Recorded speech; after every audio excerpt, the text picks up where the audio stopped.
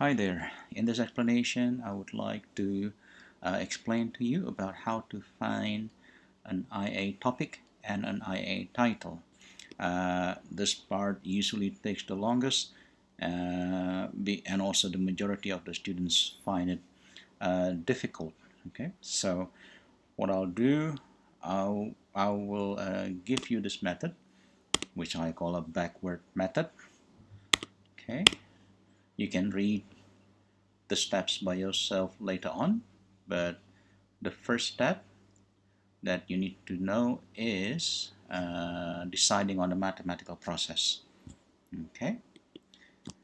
Now, the, the most common uh, mathematical process is correlation, usually used in conjunction with mathematical modeling. Students use this, students find it easier uh, to produce and to explain, so we will use correlation uh, in this presentation. So correlation is basically the, the relationship between, between x and y values.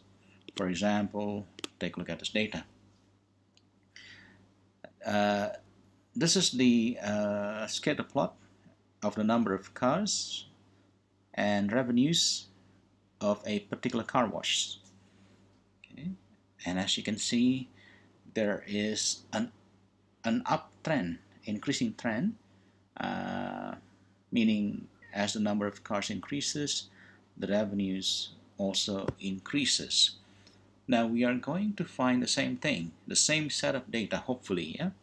And in order to achieve that, we need to begin with uh, finding our area of interest. So that would be the uh, second step. So you can choose uh, an area of interest for IA. Okay, It can be business or entertainment, traveling, cooking, etc. But in this example, I will uh, choose welfare. Okay, so let's try to find uh, a set of data available uh, that relate to welfare. Uh, keep in mind, I will be using secondary data, not primary data, because the objective of this presentation is uh, trying to do an IA the easier way. Yeah, although if you can do uh, if you can uh, collect primary data that would be perfect. Right so this is a set of secondary data uh, which is acquired from Central Statistical Agency of Indonesia.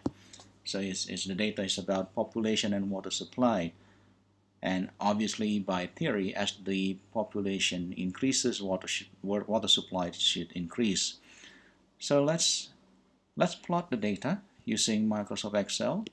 You can uh, use any uh, graph plotting software that you prefer. Doesn't have to be Excel. There you go. The data looks good. This shows an upward trend, yeah, which is what we want. We want a, a, a clear possible trend, but there are some issues, such as slow growth in 2001 until 2003 that requires explanation. And also there's there's a population jump in 2003 to 2004 it's quite significant from 7.45 million to 8.7 million so that also requires uh, explanation so you can actually use this data uh, provided you can answer what happened here with these two uh, meta. But as for me, I will look for another set of data. Okay, so this is a set of data B. Still in the area of interest of welfare. It's about GDP or, or gross domestic product and unemployment rate in Indonesia. Okay, this is the the source of the data. Okay, uh, just by looking at, at, at the values, uh, it looks pretty good. As the gross domestic product increases, increases unemployment rate uh, should decrease. But let's take a look at the scatter plot. Let's generate scatter plot.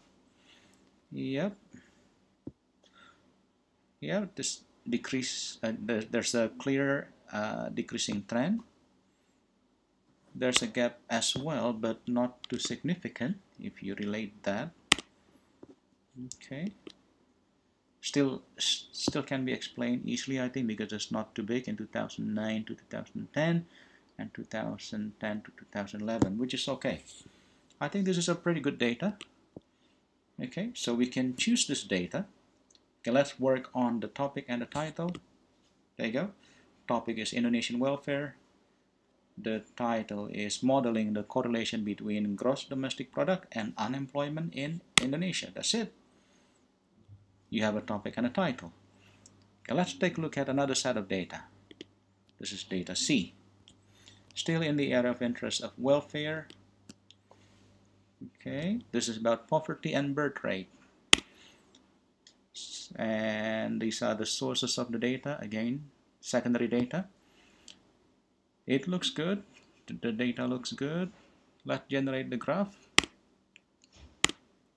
Yeah pretty good. There is an increasing trend. Okay. Because as the poverty increases birth rate uh, increases as well uh, according to this data. Yeah, we can use this data, but keep in mind we are in 2020, so we need to update a bit. We need to add two more years. If it is available, that will be great. Yeah, uh, it will improve your IA better. Yeah, we can use this data. And the topic, of course, is Indonesian welfare and the title is Modeling the Correlation Between Poverty and Birth Rate in Indonesia. Okay, there you go. A, a quick uh, method on how to find an IA uh, topic and an IA title. So please try and um, hopefully you can find one in no time. Uh, in my next presentation, what I will do, uh, I will explain to you what to do after you have uh, you have found an IA topic and an IA title. Okay.